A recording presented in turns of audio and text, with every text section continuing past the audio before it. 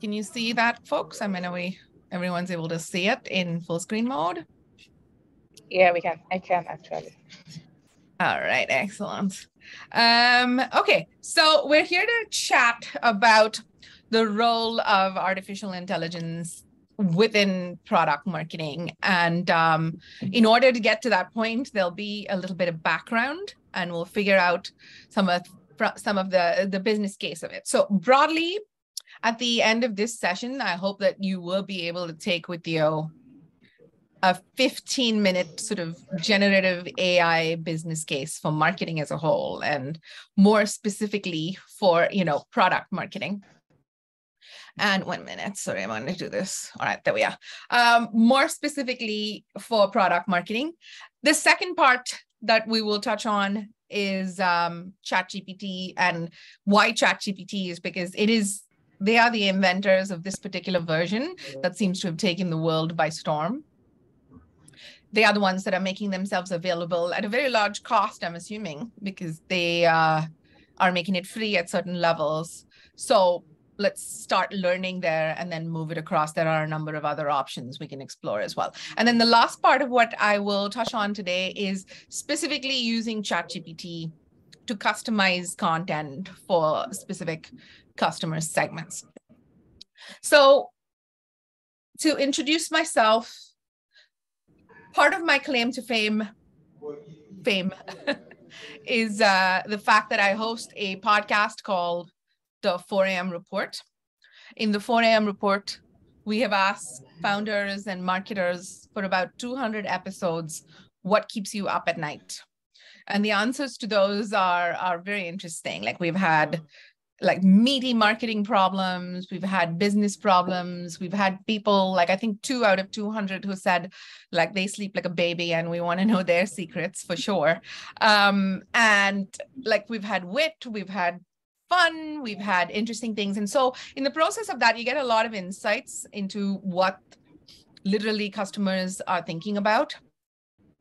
And lately as we keep asking those questions to more and more folks the answer tends to to be something to do with ai or artificial intelligence. So let's get into it. Whether people are thinking you know I haven't used it, or people are like, I'm using it, but I'm not getting the best out of it, or people are saying, Oh, I tried it, but I don't know how exactly to operationalize and bring better stuff out of it, or you know, potentially like, oh, I'm concerned about the security risks. Or if you look at the news headlines around you, perhaps you're seeing things like, you know, these tech giants have used many people's intellectual property to train artificial intelligence. And so now folks are coming out and saying, well, they should be compensated for that kind of thing. So there's a lot in the headlines. If we get distracted by things outside of our control, I think we lose sight of what it is that we can each do with this. And it's a very exciting time, in my opinion, to be alive.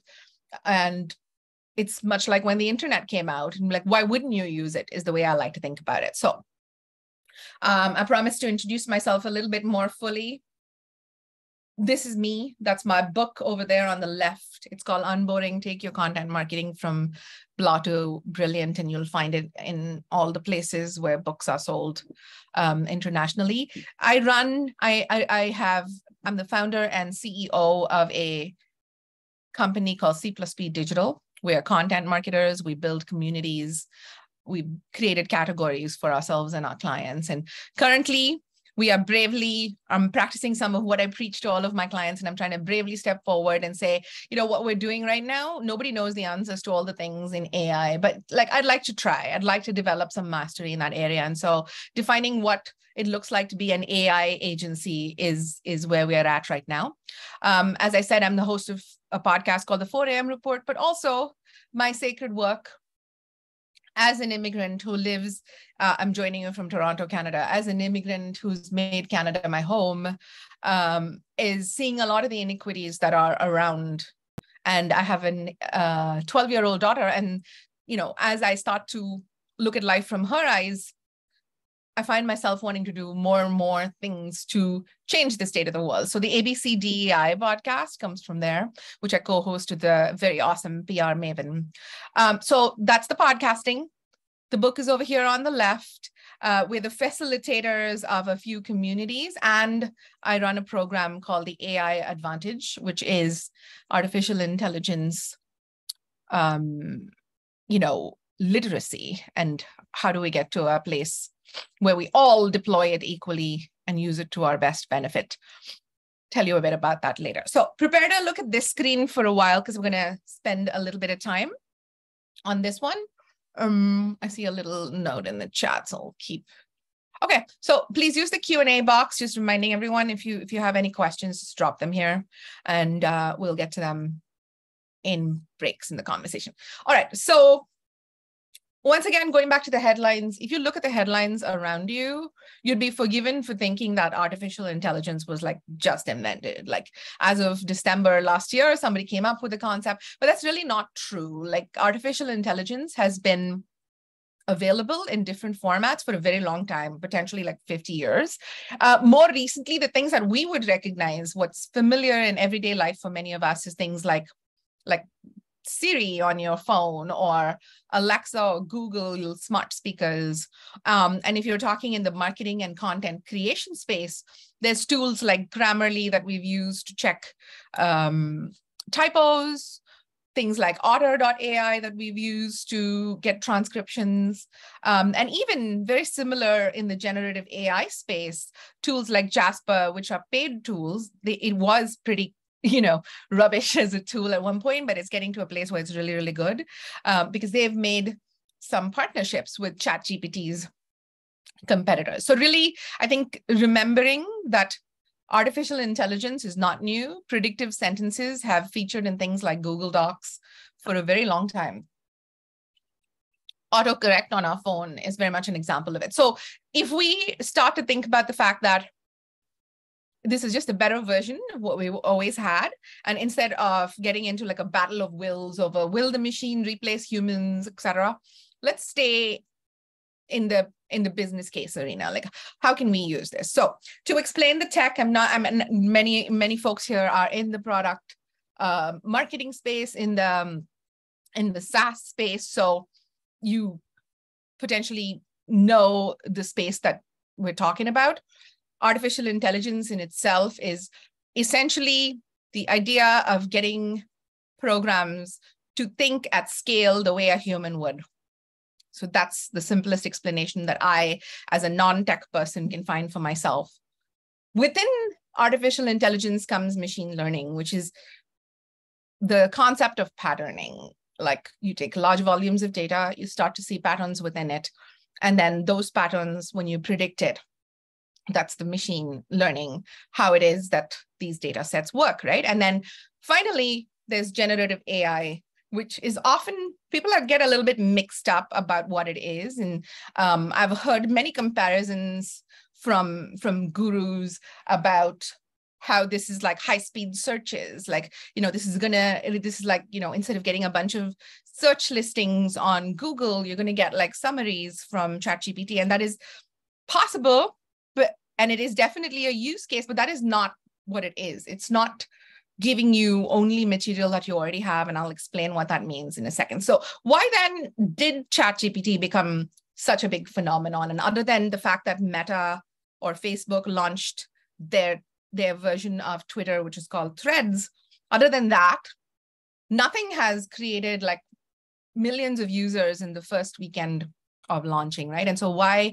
is it that something like chatgpt has got those results? Why did so many people jump on it and continue to use it? Um, it's it's a couple of things or three things really. Number one, it it is pretty credible. Like it'll it'll give you vast amounts of credible text. If you go and ask it, even at a very, very basic level, like write me a 500 blog, word blog post on product marketing, and it's going to instantly do that. And then you're going to see it in seconds, like happen right in front of your eyes. And what I think separates them from a couple of earlier options is the fact that the quality of the content or the credibility of the content is is better. So that's the first. The second is the user experience itself. They've called it chat gpt it's an easy chat format. We're all used to you know inputting things into like various forms of search and chat. And that's what they're using. They're using our ability to do this to improve sort of our adoption of it right? So and then the last part is that the the basic version continues to remain free. And i think um, the proposition of of having a freebie uh, a free model or a freemium model is is successful for a reason. And i think they're leveraging it really well. So the next point then becomes what is the reaction to it? Like after initially jumping on with both feet like with many many things um, Gartner's cycle, hype cycle, talks about how you've got something that comes in, a whole bunch of people will jump on it. And then there's the trough of disillusionment. That's what it's called. It's like when people fall away, the millions and millions of people who signed up for ChatGPT accounts are like, okay, I'm, you know, I'm over it. I really don't know because the tool is powerful in the hands of the handler, right? And if you don't actually know what to do with it, it's just a lot of firepower for for no real reason. So after the fall away, there are a lot of people who've continued. Like I'm certainly a proponent of, I think the true business opportunities, the true ability to use it, um, and the real, you know, workflows will start to make themselves known to the folks who sort of stick around past the hype phase and find ways to utilize it. So while the market is a little bit like, you know, there's a lot of um, doom and gloom out there, and there's all of these like big voices who are like, let's halt the development of AI, and this is too much too soon, etc.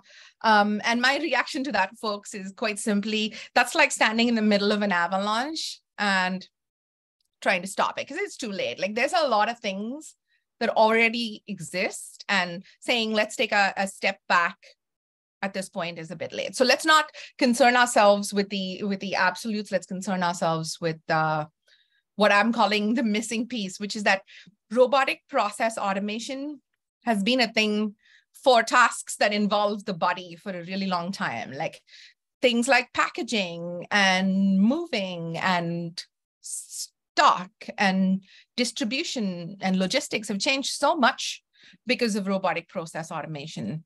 So why then are we resisting the idea of robotic process automation for what is essentially the human mind, right? The, the creative mind. And so that's the missing piece that I think we should just like, I'm foreshadowing to that for, for a second.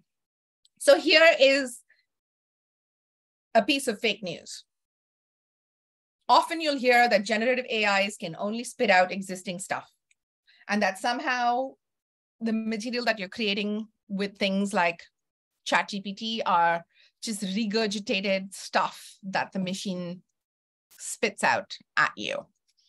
And that's not true. It is actually a little bit uh, unsafe to believe that that is true. You really need to think about why it is that everything is new. And to explain that, I find it easier to think about it from the perspective of the design side of things. So let's go, for example, to OpenAI's own visual artificial intelligence tool, which is called DALL-E. So on DALL-E, if you get in there and you give it a prompt, such as like, I don't know, like a cat um, in a unicorn suit that is sitting on a pool floaty and having a cocktail. It will give you an image. It's currently paid, but it'll give you an image. That image is original.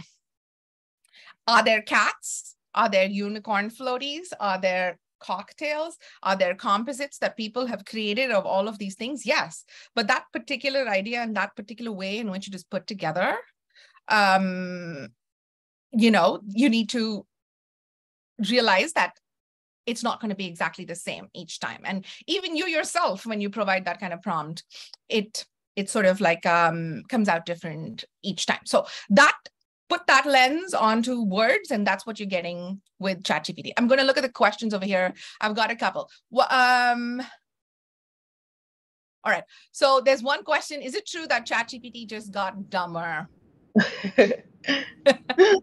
well, I think here's here's how I like to answer that. I think we are getting smarter.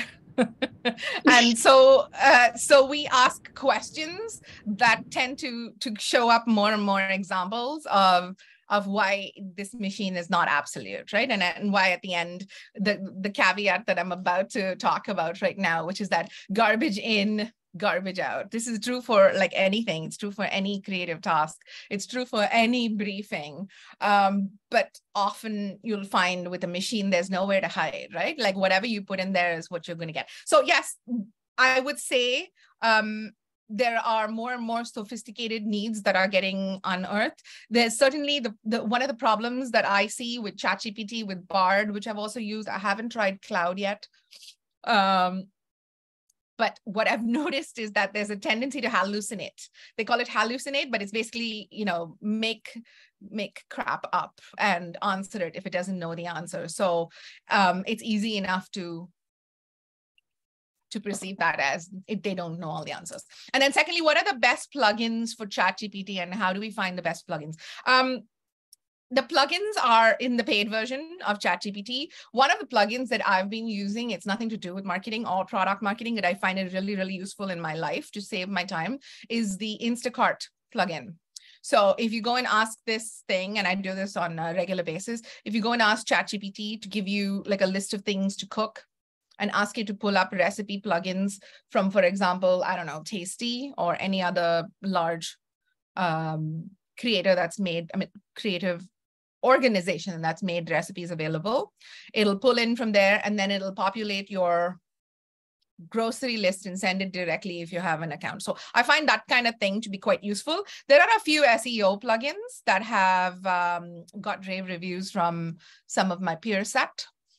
There are a couple of coding ones. So I think you need to search, go out there and look. I think Reddit is a great source to go and look for a couple of chat GPT boards, join them, and a lot of information is available. People cannot wait. I think it's bringing out a level of excitement, like I previously briefly mentioned, it's bringing out a level of excitement that's kind of like when the internet came out. So there's a lot of discovery that is available if we go out and look. All right, so back over here then to the part about garbage in, garbage out. As like, yes, ChatGPT can create original thoughts. Yes, ChatGPT can become robotic process automation for the creative mind.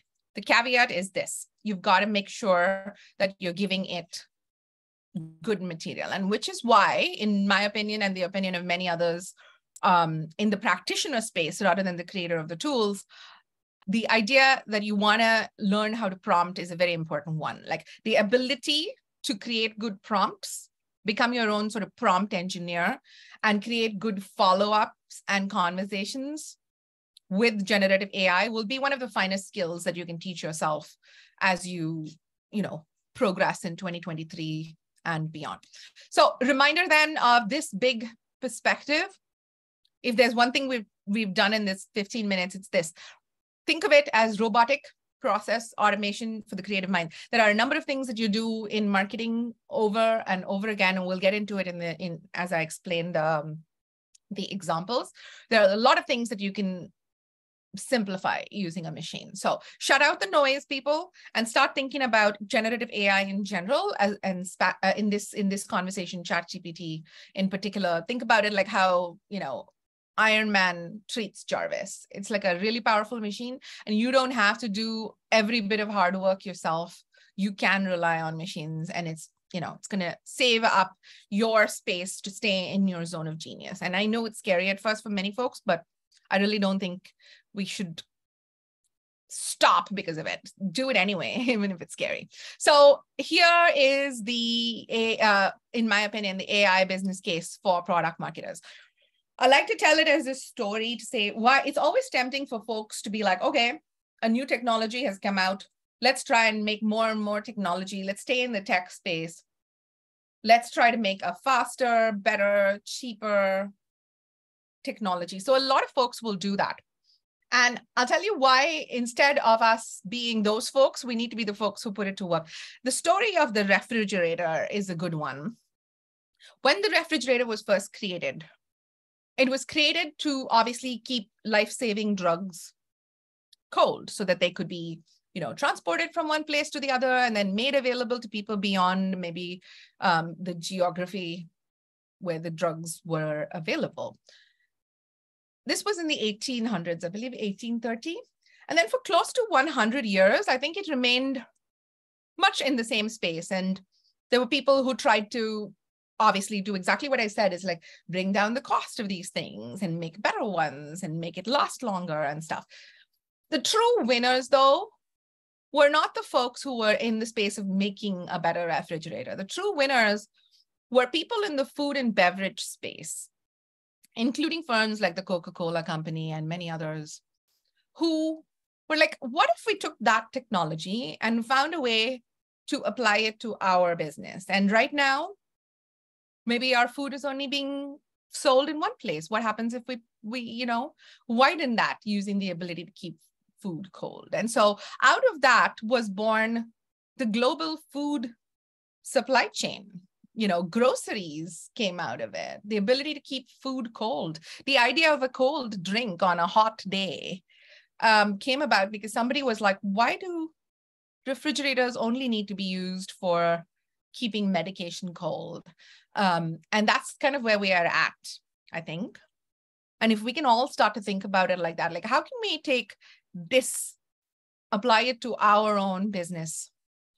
And then like gain exponential impact results revenues like whatever it is that um, you seek. So that is the backdrop. Any other questions in here? Just pop over here and have a little look uh, all right i think we got to those couple of questions feel free to you know drop me more notes here as we go if you're finding this interesting so far perhaps you will find the AI advantage useful, and you may want to take advantage of one of the programs that we offer. Haha, funds, take advantage. Uh, this is a premium content product that I offer. Um, there's a QR code if you'd like to scan that. It covers off many AI products specifically prompt libraries, and having just a prompt library is kind of like having um, a dictionary. Like unless you know what you're looking for, it's just a lot of words, right? So a prompt library with specific tutorials and AI literacy. And then on top of it, with the strategic marketing plays as well is what I'm offering. Um, it's a 12 month premium content program. And it literally hits the trifecta of what people talk to me about all the time, which is saving time, eh, coming up with like ways in which you can take the piddly stuff off your plate so that you can stay in your zone of genius on what truly matters in business. Um, I've put a couple of testimonials up here. And once again, that's the QR code up there if you'd like to check it out. Onwards to ways in which we can use ChatGPT within product marketing. Obviously, this is a one hour um, masterclass webinar, whatever you'd like to call it. And there's a limit on how much we can cover. So I was hoping to just stay in one space. So we'll look at what that is. Let me bring this down here. Here we go. Prompting. I mentioned briefly that the finest skill that you can teach yourself is prompting. And while many folks are selling, like I said, prompt libraries, even if you get one of those, you need to formulate your own ability to think through the critical thinking, the problem solving, the workflow. That's where like the magic is. That said, the easiest way to acquaint yourself with generative AI and to get comfortable using something like ChatGPT is a master prompt like this. The master prompt is quite simple. It asks the machine to ask you questions you can specify if you like how many questions, but the the idea is that this machine already knows how to do a bunch of things and we we have no clue. We've not even begun to scratch the surface of what's possible with all of this. So ask it like tell it to tell you what to do right? Help me help you kind of thing. So here's a here's an example. I'd like to and you can put in a goal here improve my business's product marketing strategy. Can you ask me questions to help me identify potential areas for improvement target audience insights and innovative ideas to enhance customer engagement and drive conversions? So this is very very basic very top level. I have put one or two things in there. You don't have to. You can start with a less um, detailed one even. And then remember, remember it's called chat GPT for a reason. So you can chat with it. So if it comes back with something, they've even within the uh, AI, uh, sorry, the interface, the UX has like a, a like or a dislike. I find that to be a little absolute. What they've also done is they've created um, an edit button. So once you put in a prompt, you're able to go back into the prompt and change it. And you can also sort of regenerate a response. So don't feel the need to know all of the words for the question. Start with something. And an easy way to start, like I said, is a master prompt. Onwards to a little bit more nuance within like your general, your top level prompt models. There are a lot of models. And again, feel free to ask ChatGPT to tell you what some of those models are in your specific space. But here are two that I find really great to use. One is a role play sort of model, and one is a problem solving model. So within a role play model, um, you're asking it to behave like someone. So in the space of like product marketing, for example, think of like Gary Vaynerchuk. And if you want to say something like, act as if you're Gary V and give me advice on how to do X things with X company. And when you say, ask me questions, like yell at me, like Gary Vaynerchuk yells at people, um, maybe it will. So here you have a question. AI is built on process data and the ability to predict responses based on patterns. But what will happen if there is an influx of data, too much data? Um, I, it's a good question. I don't know. I don't know what will happen. I just have to believe that people will get smarter and smarter in the applications of these things. And if if the speed at which people have moved, because OpenAI came up, created ChatGPT, sort of disrupted the market, right? And then look how quickly things are happening. In under six months, all of the other other folks are coming in with their own version of it, and then they're sort of pointing out flaws within each other's models. And there's this like, you know, this free for all democratic approach to things right now and i think that's kind of what's going to happen eventually if, if we get to a place where there's too much data there'll there'll be people who will come forward with our with solutions is my hope so like i said you know use the tool that's in front of us and as we use it we put more intelligence into the system and that's going to drive the change as well so back then to the two prompt models. The first is the role play, which I touched on.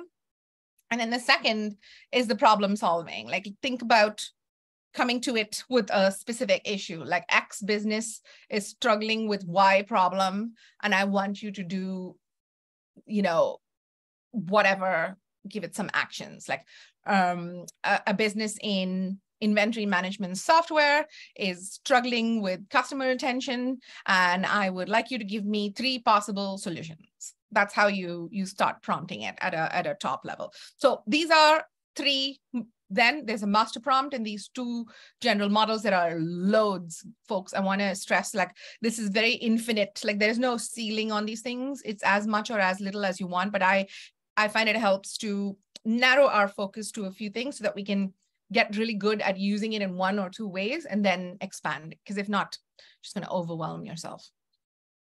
So let's say personalization. Like suppose there's a, a, a product out there that needs to go to market um, and you know you've got like multiple customer segments right and you you're like perhaps getting a little bit overwhelmed like of course you can personalize and you know instead of going straight off and trying to segment your lists and send out content, perhaps you need to start by creating the strategy first. And that's something I find documenting strategy is a huge strength that's going to come to many of us um, because of tools like ChatGPT, because you'll end up not just thinking things in your head, but putting it down and talking to the machine in a way that you can move it over and create guides and documents and outlines and systems. This is going to go a long way towards making that happen for ourselves right? And um, in our own firm and for our clients we've certainly been using it to outline service level agreements to to make sure that certain steps are followed in the process of delivering something like a podcast on a weekly basis so there's a lot that you can do to document processes and systematization. So start by creating a personalization uh, uh, personalization strategy and ask it, ask the machine to write it for you. Next, think about using like tailored content. Like, you know, if you say, this is my specific segment and I would like to take this segment and write only for them. For example, blog posts. Like if you're dealing with manufacturing industry CFOs for a product instead of just all CFOs, you know, how would you start to talk to them in their language? And then ChatGPT can help you generate that kind of tailored content. And then the next step perhaps is going back to the idea of prompting. Remember why it is that ChatGPT calls itself ChatGPT, because it wants you to chat with it. The reason the whole thing has been built in an interface of chatting is so that you can go back and forth. Um, and, you know, the, the ability to refine your own technique in the prompting of it, I think is pretty important. Uh, can it still be called AI if its responses are filtered? I thought the idea is to create AI in our image. Um, again, a good question. Can it be called AI? Yes, it can be called. It can be called AI. Because think about here's how I like to think about filtered. Um, there are so many thoughts that cross the human mind, but we've learned how to filter it and say the right things in the right spaces, and that's context and that's emotional intelligence.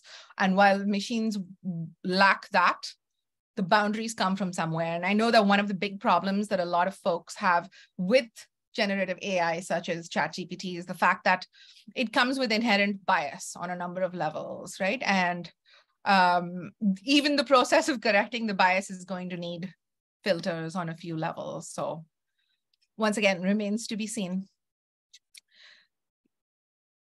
Here are a couple of prompts that I want to touch on for perhaps using the personalization strategy. So here's how I would start if I were doing this. I'd be, as a business catering to multiple customer segments, how can I effectively personalize my content to resonate with each group and drive engagement? Like start at the very top and then practice what I told you in terms of the master prompt, for example, and say, ask me 20 questions so that we can generate compelling content that speaks directly to the ideal client profile. And when you start in this way, it's going to give you a lot of blather.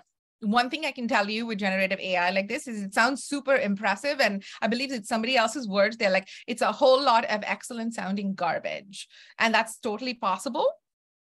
which is where you have to specify. So if you asked a question like this and it gave you a lot of generic points, you need to say, can you please focus on point number two and give me more? So that's another piece of context you can give um, the machine is pull out what it's saying to you that you like or you want to dive deeper into and ask it to give you some more detail. I've got a couple more questions here that I'm going to jump into.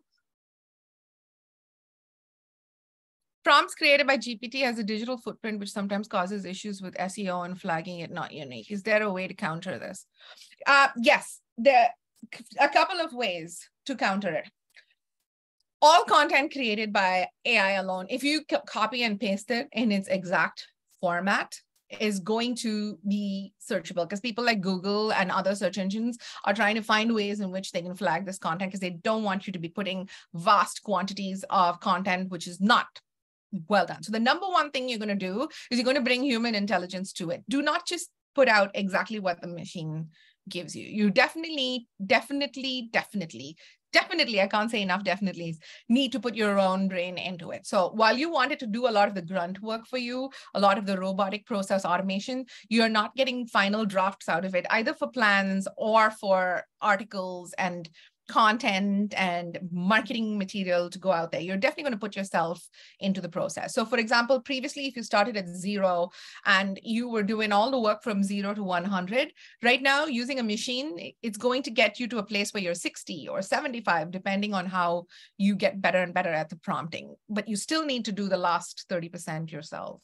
You still need to do the last 40% yourself. So, I think bringing that human element into it is the number one piece of like advice I have for anyone who's like, you know, how do we combat getting flagged as, you know, machine generated content? number two, there are tools out there which will change some words. So it's kind of like it's not ideal, but it is a way of changing a few words so that the pattern is interrupted and you know artificial intelligence detectors cannot find it so there are a few i can't remember any of them offhand but i do want to give you this hack ask the machine to do it ask ChatGPT to rewrite whatever it is that you want to use from ChatGPT and say act as a you know blah blah blah act as a AI detection software from the likes of Google and rewrite this in a way that it cannot be detected. And I promise you it'll work. But like I said, very rarely are you going to grab a full entire bit of text generated by you know something like ChatGPT and just throw it on the interweb and be like this is this is great this is original and this is what I created. You always bring at least 20 to 30% to it. And so I think that's going to help avoid that sort of detection. Um, any other questions at this point? Because that's, you know, that's a, a, the bulk of what it is that I wanted to to walk through with you. Um, I'd like to get into questions right now. If anyone has any more, um, if not, we can just go back and review any sections if anyone wants that. Yeah, so if you guys have questions, this is the time to like ask Susan. But I think it has really been so interactive because a lot of questions has already been answered yes. and shared. Okay, there is one. One just came in now. Right. Um, changing words, paraphrasing still comes with digital footprints. yeah, like it still it yeah, it still does. There are ways in which you can get around it with changing up the formats and changing of the words. But yeah, it's true. The like I said, the only real way to get around that is to add enough quality inputs as the human, like take it to a 60 to 70%, um, and do the rest yourself. Like in the end, think of it like this is the first time this is becoming available to people as the wider masses. And as we keep using it, we'll just figure out more and more ways to get around the problems in front of us.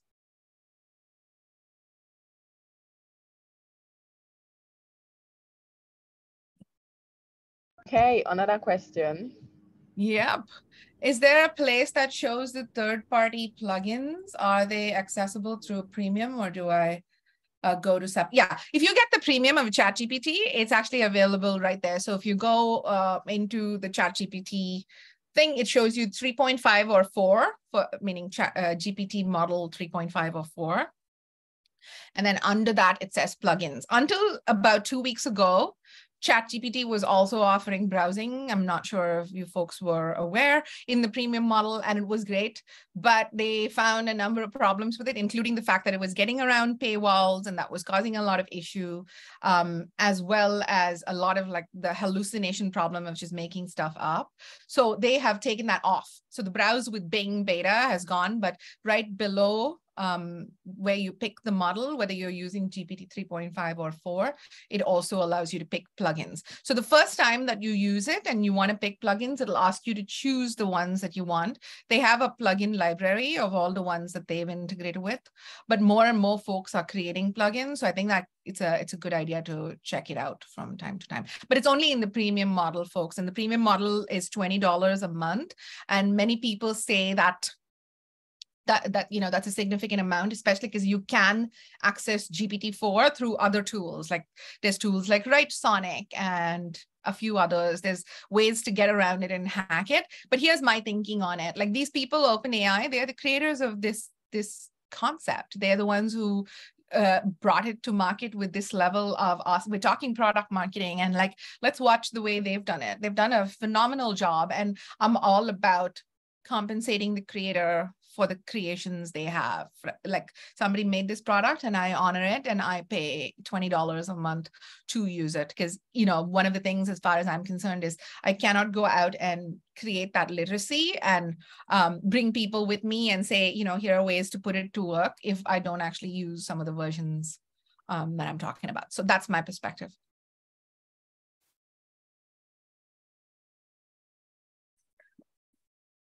Here we go. We got a couple more. What is your take on AI taking people's jobs? Um, I think we're we're still a long way away from that, folks. I don't think AI is going to be taking our jobs.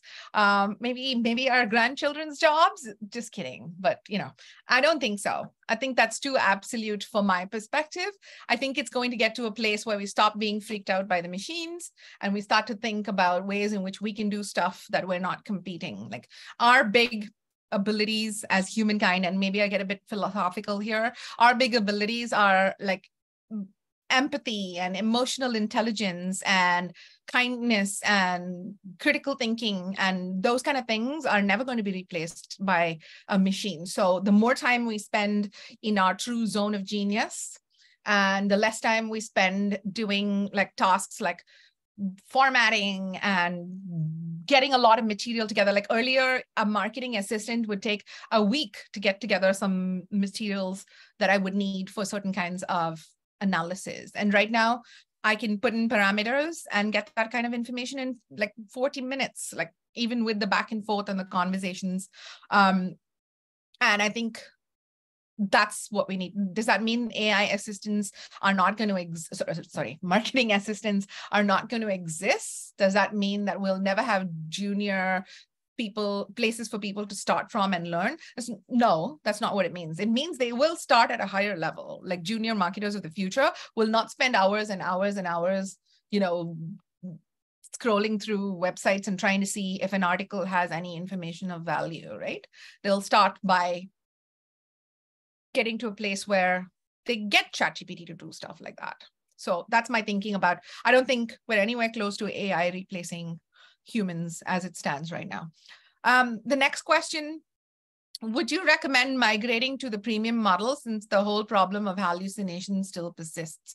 I think, yes, I do, I do recommend that. And hopefully I answered part of that question when I said that I feel the usage of GPT-4 is a is a premium thing. So number one, that. Number two, the thing that I find is really helpful is it's available at all times.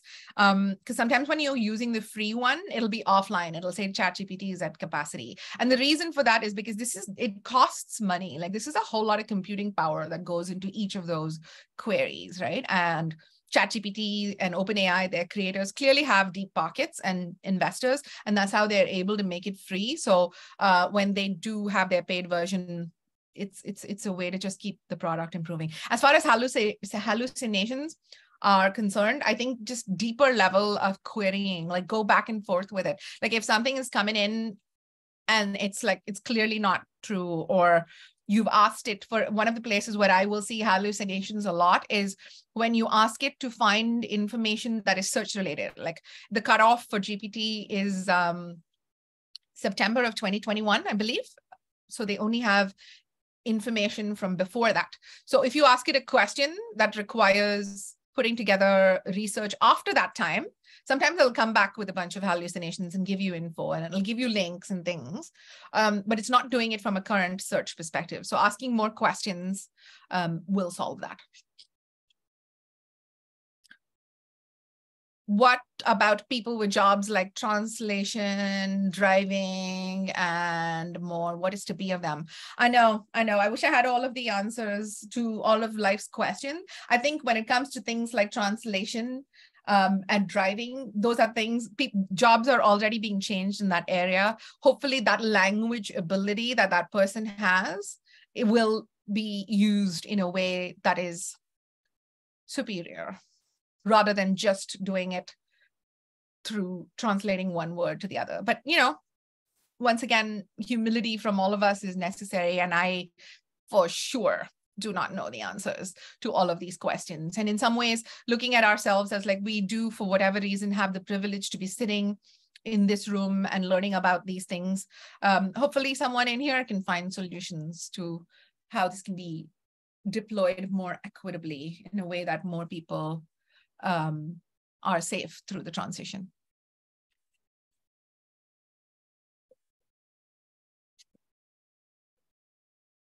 Yeah, so I think um, we've basically exhausted every question at this point. Thank and you. honestly, Susan, you've done such a good job. This is um, so enlightening. At least AI is not going to take our jobs anytime soon. So everyone, please relax. Put your mind at ease and just do your job till you know to our grandchildren's age. so thank you so much, Susan. Thank you all for contributing. This has been like a very good discussion. Like there's so much interaction, there's questions, there's you know, we talked about several things and I just like the entire flow of the whole webinar or business series. So thank you so much, Suzanne, for coming on here, bringing the amazing energy, the warmth. Like we could literally feel from your session, there was so much warmth there was so much good vibes and energy, and you were just so happy sharing with all of us. Thank you so much. Thank you to every attendee that joined us today. Um, this is still the Enyata Business Series, and today we had Suzanne as a guest, and it has been the bump. Thank you all for joining, and do well to like have a very beautiful weekend. Yeah. Everyone is saying thanks for the answers. Arigato. Thank Please, you. you can say thank you to Susan in the chat also if you have your social media handles please do to like yes. share with the audience so that we could do to like follow you and keep talking about ai on your walls. Love yeah. it i think uh, i mean I'm, I'm on linkedin an incredibly long amount of time in each day. I, I mean an unhealthy amount of time i think. Um, so feel free to connect with me there. I will drop it in the chat box as well. Uh, and thank you for having me. Yeah thank you so much. Thank you everyone for Bye. joining has been good. Bye, guys. Have a lovely, lovely weekend. Please follow Susan on LinkedIn. Bye.